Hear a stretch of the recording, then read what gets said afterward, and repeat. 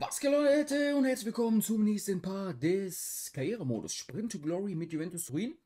Zwei Jugendspieler am Start, jetzt nicht allzu heftig, aber besser als gar nichts. Oscar Kaiser und Mendes. Oscar Kaiser 130 Millionen holen wir als erstes, Leute. Lasst mir mal gerne ein Like da. Lasst mir mal gerne ein Abo da. Ihr wisst es, falls ihr noch nicht abonniert habt, kostenlos abonnieren. Glocke aktivieren, täglich einschalten. Ich würde mich äh, wie immer sehr freuen, wenn ihr täglich einschalten würdet. Ja, wäre auf jeden Fall sehr fresh. Bleibt wie immer bis zum Schluss dran. Das äh, ist das Wichtigste. Ihr wisst es ja Unterstütze mich, werden die Videos besser angezeigt, die Watchtime geht hoch und so weiter und so fort. Und das Wichtigste überhaupt, ihr kennt es ja, lasst ein Kommentar da. Den haben wir für 219, wir haben die Ausstiegsklausel gezogen. Lasst einen Kommentar da.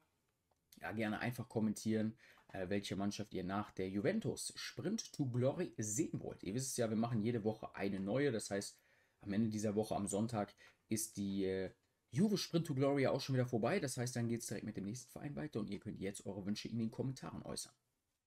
Ich danke euch. So, dann schauen wir uns mal, wie wir umstellen werden.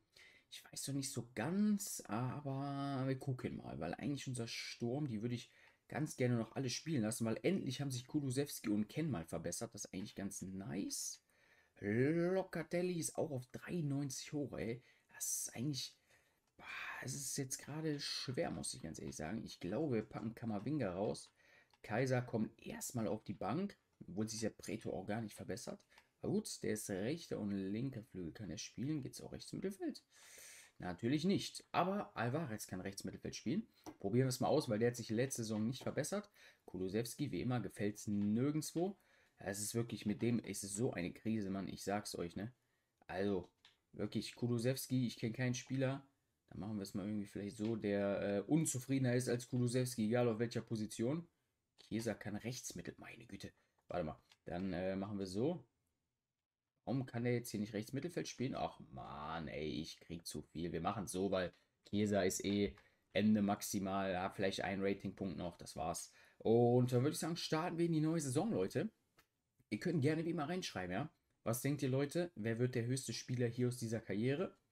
Ich sag mal so, Chiesa der wird aus dem Rennen raus sein. Da dachte ich am Anfang eigentlich, dass Chiesa es schafft. Mittlerweile, Donnarumma ist aktuell der höchste. Aber ich glaube, dass ähm, Gravenberg noch höher gehen kann. Ja? Wir hatten Gravenberg ja schon mal auf den 98 in der City-Karriere, glaube ich, war das. Oder in der Real, irgendwie so. Keine Ahnung. Irgendwo hat man den auf 98, ich glaube City. Der ist jetzt auf 94, der hat noch sechs Saisons, der könnte noch auf 99 gehen. Ah, wieder Bug, 3x3-0, danke dafür. Korrekte Sache. Ähm, läuft bei uns. Könnt auch wie immer gerne kommentieren, was euer bester Jugendspieler aller Zeiten war. Dann bin ich mal gespannt. Ich bin mir sicher, der eine oder andere wird auch mal einen 99er gehabt haben. Einen eigenen äh, kreierten Jugendspieler.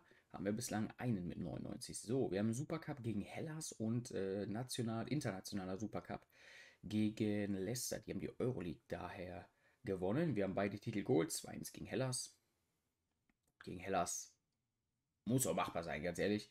Und äh, 2-0 gegen ähm, Leicester. Ich frage mich gerade, wir sind ja Meister geworden und wir haben den Pokal auch letztes Jahr gewonnen. Ich meine sogar auch gegen Hellas. Ich frage mich gerade, wie das hier ist, weil eigentlich spielt ja zum Beispiel in Deutschland ist es so, wenn du, eigentlich spielt ja Pokalsieger gegen Meister. Wenn du beides wirst, haben wir schon mal drüber gesprochen, dann spielst du eigentlich gegen den Zweitplatzierten.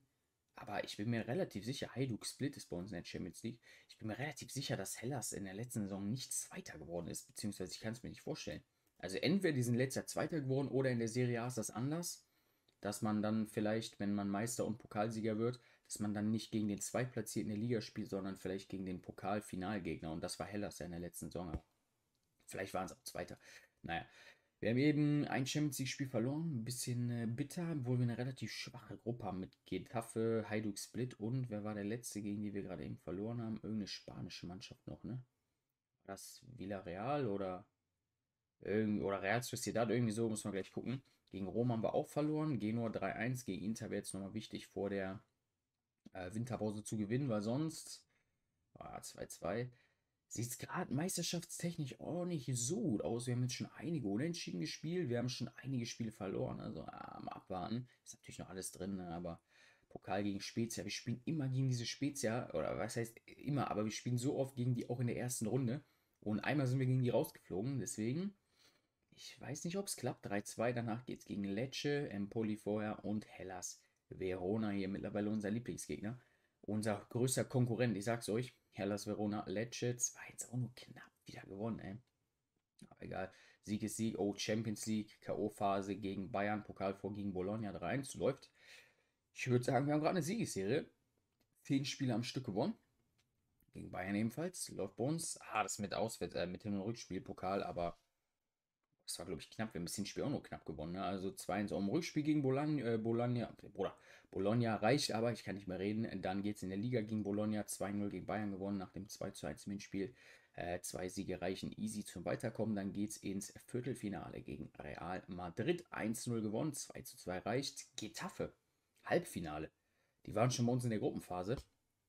Ganz kurios, haben es einfach ins Halbfinale geschafft. Wir verlieren gegen die 2-1. Junge, Junge, Junge, was ist denn mit Getafe los? Was haben die denn für eine starke Mannschaft? 1 zu 1, sie fliegen einfach gegen Getafe raus. Diggi. Oh mein Gott, Pokalfinale wenigstens gegen Rom. Also Champions League, das war's. Ähm, in dieser Saison, Pokalfinale wenigstens noch gewonnen, können wir noch das Double holen, beziehungsweise wenn wir das Double holen, haben wir insgesamt vier Titel gewonnen, weil wir die beiden Supercups vorgewonnen haben. Vier Titel von möglichen sechs. Geht, würde ich sagen, in Ordnung, gar keine Frage. Äh, ihr wisst es, wir haben ja hier eh in einer Saison, mal gucken, ob wir Meister sind. Ja, 95 Punkte, alter Shit. Ich glaube, wir hatten auch noch nie in keiner einzigen Karriere über 100 Punkte, oder? Bin gerade am überlegen. Irgendwie so mit City oder Real. Aber ich glaube, wir haben nie, ich meine, sonst, das hätte ich mir wahrscheinlich gemerkt, wir hatten, glaube ich, nie über 100 Punkte. Also das ist nur so ein Ziel, das wir vielleicht mal packen könnten irgendwann. Das wäre vielleicht ganz nice, mal über 100 Punkte einzufahren, aber ist auch schwer, muss man sagen. Aber diese Saison waren wir relativ knapp dran. Obwohl ich am Anfang dachte, wir wirklich am Anfang ein, zwei Mal unentschieden und gespielt haben und verloren haben. Aber naja, hat gereicht, was soll's. Man kann ja maximal, ich bin gerade am Rechnen, wie viele Punkte man einfahren kann. 40 Spiele mal 3 wären 120 Punkte, es sind allerdings nur 38 Spiele, deswegen ziehen wir 6 Punkte ab. Das heißt, es müsste 114 nur zu vergeben geben. Äh, Mendes hat sich verbessert, ein Punkt. Alvarez ist auch ein Punkt hoch. Castro ebenfalls. Moisken auch. Kulusewski auch. Chiesa ist zwei runter. What? Locatelli ist auch ein runter. Misaui ist hoch. Der ist zwei hoch. Gute Saison gewesen. Aber wir müssen Chiesa und Locatelli austauschen, weil die sind beide runtergegangen. Und Kaiser ist sogar auch hoch. Für den kommt Kammerwinger wieder rein. Scheiße, ich habe den vergessen auf die Bank zu packen. Naja, egal. Das war's von der heutigen Folge. Ich hoffe, es hat euch gefallen, Leute. Wenn es euch gefallen hat, Lasst gerne ein Like da, lasst gerne ein Abo da. Chiesa werden wir noch irgendeinen Jugendspieler bestimmt für bekommen. Wir verlängern noch kurz die Verträge. Äh, schreibt wie immer gerne in die Kommentare, welche Mannschaft ihr nach dieser Karriere hier mit Juventus sehen wollt. Der ist schon 28 mittlerweile, den können wir eigentlich auch mal austauschen, weil der verbessert sich eigentlich gar nicht. Der hier auch. Da habe ich kurzzeitig gedacht, der kommt vielleicht auf eine 99, weil wir den mit 90 geholt haben mit 21. Jetzt ist der 28 oder 27, hat sich zwei Punkte verbessert. Drei Punkte, sorry. Drei Punkte verbessert. Naja. Ähm, also schreibt gerne rein, welche Mannschaft ihr beim nächsten Mal hier in dieser Karriere sehen wollt. Ich würde mich sehr freuen, Leute. Und dann würde ich sagen, Mois Ken ist auch noch auf eine 91 gekommen. Das ist schon ganz nice. Sehen wir uns in der nächsten Folge wieder. Kulusewski, vielleicht kriegen wir den auf eine 90. Hätten wir noch wenigstens maximal hier irgendwie rausgeholt. Macht's gut, haut rein und